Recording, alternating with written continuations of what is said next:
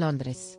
Guión Tras semanas de especulaciones el Palacio de Kensington confirmó que la duquesa de Sussex, Meghan Markle, espera a su primer hijo para la primavera del próximo año. Sus Altezas Reales aprecian todo el pollo que han recibido de gente de todo el mundo desde su boda el pasado mayo, y están encantados de compartir esta feliz noticia con el público, señaló el palacio. El hijo o hija del príncipe Enrique, y Markle será el séptimo en la línea de sucesión al trono británico. La noticia se da a conocer en momentos en que la pareja inició un tour de 16 días por Australia, Fiji, Tonga y Nueva Zelanda.